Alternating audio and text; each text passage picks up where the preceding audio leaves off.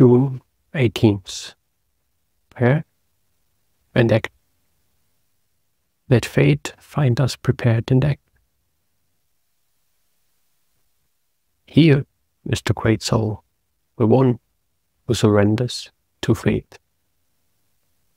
Opposite is the weak and degenerate one who struggles with and has poor regard for the order of the world and seeks to correct faults of the gods rather than their own.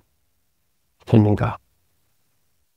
Whatever happens today, let it find us prepared and active, ready for problems, ready for difficulties, ready for people to behave in disappointing or confusing ways, ready to accept and make it work for us. Let's not wish we could turn back time or remake the universe according to our preferences.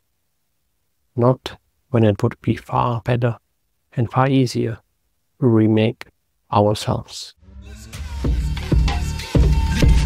Thank you for tuning in to today's episode of I'm Max with your host, Max Roeck. If you found value in our journey together, don't forget to subscribe so you never miss an upcoming episode. Loved what you heard?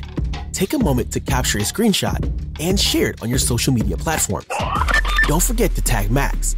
He's excited to share in your experience and offer his gratitude in return. For those eager to dive deeper, discuss today's topic, or if you're interested in being a guest on the show, please check out the show notes for all the ways to connect directly with Max. Max appreciates your choosing to spend your valuable time with him. As you go about your day, remember this empowering thought you are your own hero. Until next time, keep exploring, keep learning, and keep growing.